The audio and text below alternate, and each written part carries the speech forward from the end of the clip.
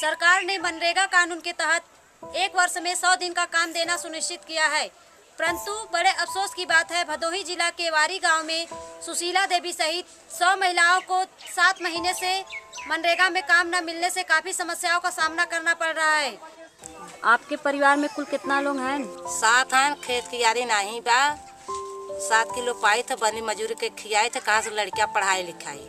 आप मनरेगा में काम काहे नहीं करत हैं? नहीं मिलत कहाँ से करी काम मिलबे नहीं कियत करी कहाँ से मांगे गए ना ही पावा।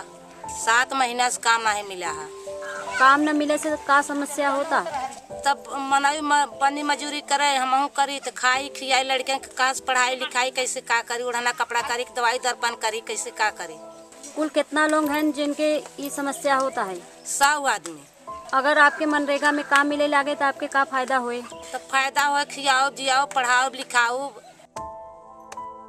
आपका खर्च कैसे चलत है? कैसे ये बनी मजूरी करत है ये खियावत है नरेगा में काम करी थे नरेगा सात महीना से नहीं होता है। काय के परेशानी में पहरे उड़ावे के।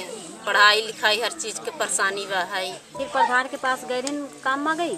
हाँ गए रे काम मांगे काम नहीं रहा नहीं काम दे मजदूरी जोन करत थी उनमें आपके कितना मिलत है? सात किलो। उससे कितना खर्चा चले दस दिन पंद्रह दिन छह महीना में एक काम होता तो उससे कितना खर्चा चले?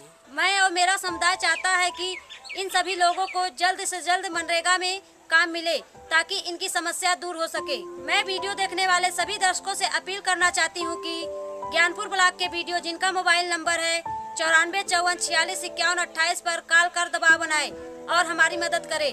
मैं केसा देवी उत्तर प्रदेश से इंडिया अनहर्ड के लिए।